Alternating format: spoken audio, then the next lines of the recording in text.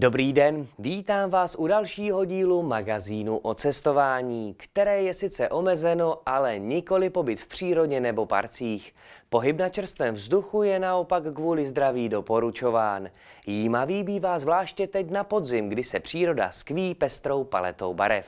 Jedním z míst, kam si můžete zajít v Praze na procházku, je Stromovka.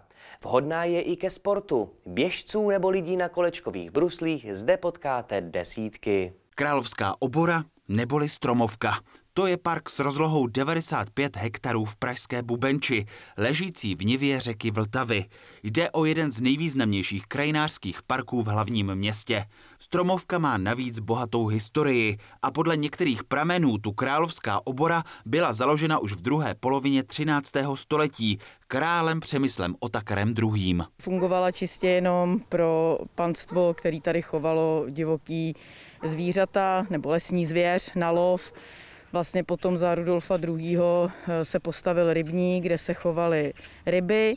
Vlastně se vybudovala takzvaná Rudolfova štola, Eh, díky který vlastně do dneška máme ve Stromovce vodu na zálivky, protože se čerpá ta voda přímo z Vltavy. Dnes ale vypadá Stromovka úplně jinak než v době Rudolfa II. Především v posledních letech se vzhled parku dramaticky změnil, a to díky velkým investicím, které zde hlavní město udělalo. Park se tak stal centrem rekreace ale i sportovního vyžití. Za poslední dobu nejnovější věci, eh, nový grilovací místo, měly by se objevit další čtyři takové místa, eh, oprava šlechtovy restaurace, která teda není stále otevřená, ale měla by být v nejbližší době otevřená. Co se týče vyžití, tak je tady spoustu dětských hřišť, jsou tady různé fit prvky, kde se lidi můžou zacvičit. Největší eh, investice teď proběhla předprostoru Šlechtovy restaurace, kde vlastně se vybudovaly nové záhony. Ty svým vzhledem odkazují na záhony,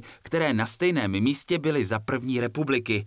Ať se to nezdá, všechny stromy v oboře mají své přesné místo díky koncepci parku.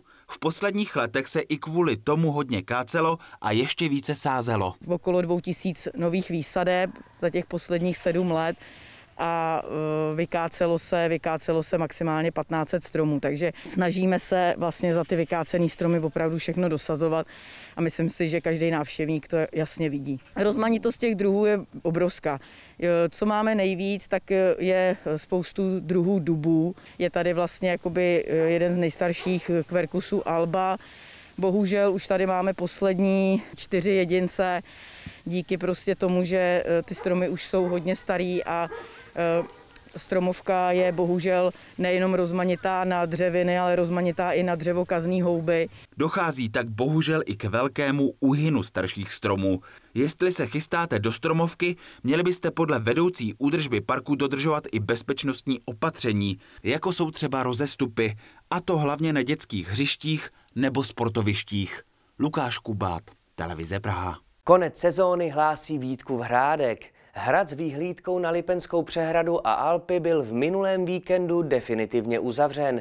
Pojďme se tam podívat alespoň prostřednictvím naší další reportáže. Na nejvýše položeném hradě v Čechách na Vítkově hrádku tento víkend ukončili sezónu. Přestože v dubnu a květnu bylo kvůli vládním opatřením zavřeno, nakonec se bilancovalo s pozitivním výsledkem. Na očekávání velmi dobrá, protože ten nástup koronaviru, to nám to tady úplně zastavil, takže jsme byli bez tržeb, tak jsme to financovali z úspor. A pak se rozběhla sezona a to léto bylo eh, skutečně velmi dobré, takže jsme pořídili nejenom eh, finanční prostředky na výměnu plošiny a na nové palisády, ale dokonce jsme si dovolili koupit i Jeep novej pro zásobování Vítkova hrádku. Plánujete něco na příští rok?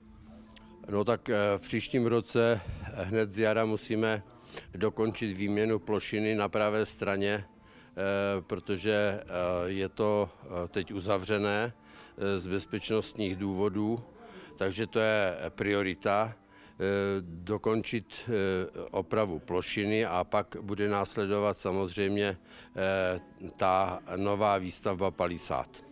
Že už se letos brána hradu neotevře, je téměř jisté. My jsme to konzultovali s hygienou eh, v Českých Budějovicích, tak eh, v podstatě nám umožnili tady pustit vždycky pár lidí s těma podmínkama rozestupu a dalších hygienických opatření, ale my jsme to sami zavřeli, protože nechceme riskovat zdraví těch lidí. Hrad zde stál po staletí a jistě bude i v příštím roce.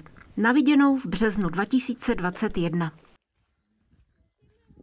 Co mají společného náměstí Jana Marka Marku a Lančkronský hřbitov? Možná budete překvapeni, ale při návštěvě obou lokalit na vás mohou dýchnout dějiny. Bez několika osobností, které na městském pohřebišti našly místo svého posledního odpočinku, by totiž nejspíš nebyly vybudovány některé historické domy. Na hřbitově v Lančkrovně odpočívá řada lidí, bez jejichž aktivit by pravděpodobně město vypadalo o dost jinak. Jmenovat můžeme například někdejšího starostu Bertolda Adalberta Schmeisera. Ten se zasloužil o dnešními termíny řečeno realizaci několika projektů. Jednalo se o dům okresního zastupitelstva, eh, dům, který byl věnován eh, poště a také postavil plynárnu, což byl významný počin v roce 1903. Dům bývalé pošty s neobarokní fasádou se nachází na náměstí Jana Marka Marků a má číslo popisné 8. Dvanáctka patří objektu, kde dnes sídlí městská policie, ale dříve se v něm scházelo okresní zastupitelstvo. Když se z rinku vrátíme zpět na hřbitov, tak naší zastávkou bude rov stavitele Andráse Seiferta. Ten v 70. letech 19. století vedl stavbu Lančkronského gymnázia. Na průkopníka tohoto záměru dává vzpomenout další pomník. Který je věnován zemskému poslanci v Praze, také eh, říšskému poslanci ve Vídni a čestnému občanu města Lančkrovna od roku 1861 a jmenuje se Petr Ritter von Bibus. Do historie města s renesanční radnicí se rovněž zapsala rodina s italskými kořeny. Kdo ví, čeho všeho by dosáhl Ignác Bartoloměj Benoni, kdyby jeho životní pouť neskončila už ve 30 letech při přestavbě domu u Modré hvězdy. Ten se dochoval dodnes a má číslo popisné 45. Opomenout bychom neměli ani pokračovatele rodu. Josef Benony byl hejtmanem ostrostřelců a obdržel eh, záslužný kříž a pohár od Františka Josefa I. císaře, který zde pobýval. Na cesty do zahraničí si v nejbližší době budeme muset nechat zajít chuť. Můžeme však hlouběji poznávat své nejbližší okolí. Doslova všemi barvami hraje během podzimu i obora hvězda.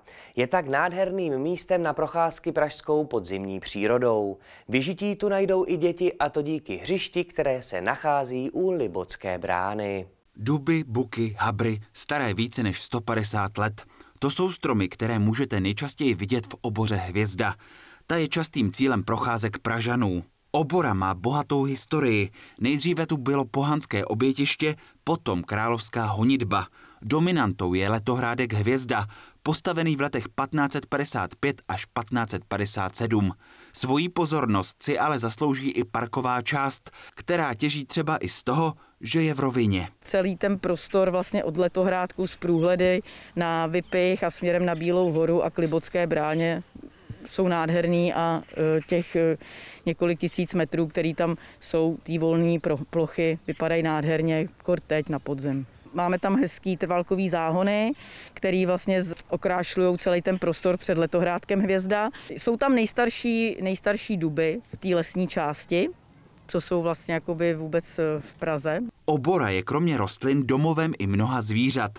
Bylo tu zaznamenáno například hnízdění 60 druhů ptáků. Tím, že to je lesní, lesní porost, tak tam samozřejmě je těch zajíců, zajíců víc a i ptactva a tak. Teď jsme teda měli v oboře Hvězda velký problém s divočáky. Museli jsme tam dávat eh, repelentní překážky, protože nám rozlili celý, celý trávník právě před eh, letohrádkem Hvězda. O zábavu v parku mají postaráno i děti, které do hvězdy přijdou. Loni v červnu eh, magistrát dokončil nové dětské hřiště eh, i ze zázemím.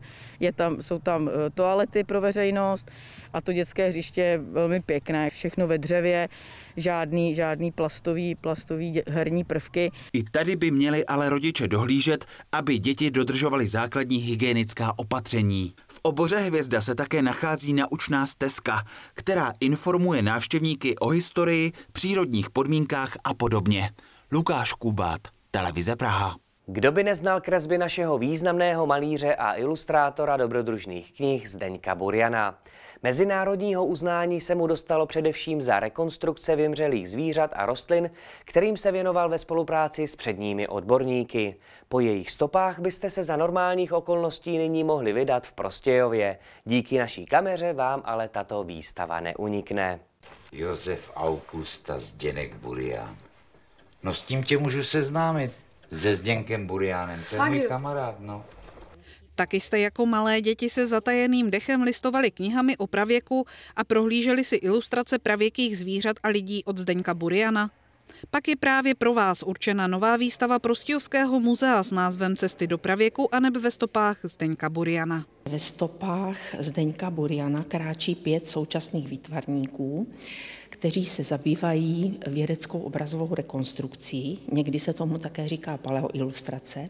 A znamená to zobrazování pravěkého života, pravěkého rostlinstva, pravěkých zvířat a také samozřejmě předchůdců člověka. Ovšem nejen uměleckým způsobem, ale v návaznosti na vědecké objevy. Pět výtvarníků založilo v roce 2014 volné združení PAS, neboli Paleo Art, Art and Science, tedy Paleo Art, umění a věda. Jejich cílem je přiblížení vědecké práce veřejnosti prostřednictvím umění. Jsou to čtyři malíři, k nímž patří pan eh, Pavel Dvorský, pan Petr Modlitba, pan Jiří Svoboda a pan Jiří Tajchman. A jeden eh, z těch členů toho pasu je pan Jaroslav Bažant, který vytváří trojrozměrné modely pravěkých zvířat a pravěkých eh, rostlin.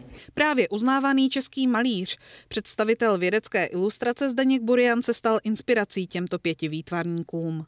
Tito umělci vlastně pracují na svých dílech v jeho duchu, samozřejmě ale ve spolupráci se současnými paleontologi a geologi. To znamená, že se nejedná pouze o umělecké stvárnění těch věcí, ale má to i reálný vědecký podklad. Výstavu doplňují také fosílie, neboli skameněliny z archivu Prostějovského muzea. Nechybí ani Burianovi školní výukové tabule o pravěku. Na své si přijdou i děti, Pracovníci muzea pro ně připravili zajímavý program. Nachystali pro ně pexeso, obrázkové kostky a také zapůjčili z Podhoráckého muzea v předklášteří modely dinosaurů. Milovníci orlicko-ústecké historie, fotografií a koupání si zajisté postesknou. V těchto dnech měla v galerii podradnicí v plném proudu probíhat výstava fotografií ze sbírek muzea nesoucí název Od koupadla k akvaparku. Do galerie jsme se vydali s naší kamerou, abychom vám alespoň zprostředkovaně představili původní snímky místního koupaliště. Také Orlicko-Ostecká galerie podradníci zůstala pro veřejnost uzavřená. Koupaliště v proměnách času, i tak by se dala nazvat výstava od koupadla k akvaparku, která měla v těchto dnech v galerii probíhat. Výstava byla pořízená z fotografií a spírek místního městského muzea. Najdete mezi nimi i snímky dokumentující počátky výstavby koupadla, jak se kdysi koupaliště říkávalo. A to první koupaliště oušťáci mohli navštěvovat již od roku 1920.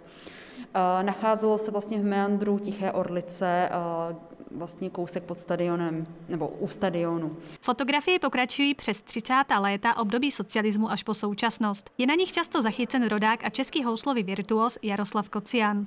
Který do Ústí nad Orlicí často jezdíval a koupaliště ho, hojně využíval, takže ho zde na fotografiích naleznete eh, v různých recesistických pózách. Součástí výstavy, jejíž příprava Ladislavu Vochodcovi a jeho kolegovi zabrala skoro čtvrt roku, nejsou pouze fotografie. Zde máme i eh, malý koutek eh, dvou plovárenských nadšenců a potom tady máme i různé propriety, které jsou nezbytné k, mm, k vykonávání činnosti plavání, no prostě k plavání. K vidění jsou například původní plavecké brýle nebo plavky. Unikátem je ceník vstupného z 30. let minulého století. Podrobně jsou zde fotografiemi mapovány různé proměny, včetně té poslední. Právě před 20 lety byla v červnu dokončena rozsáhlá rekonstrukce, při které se koupaliště přeměnilo na akvapark. Časí nám se to moc nepřeje, ale i tak vás poprosím o pár slov na úvod. Tak až vážení pánové, já bych začal tím, že počasí nám přeje.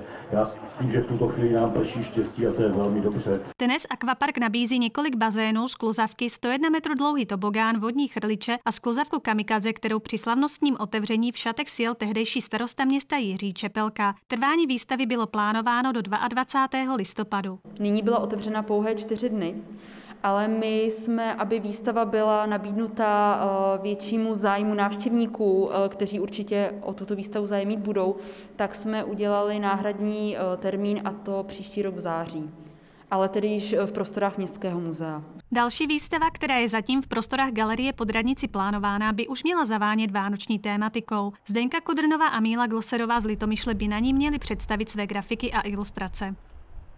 A to už je pro tento díl vše, co jsme si pro vás kolegy z celé České republiky v rámci regionální televize CZ připravili.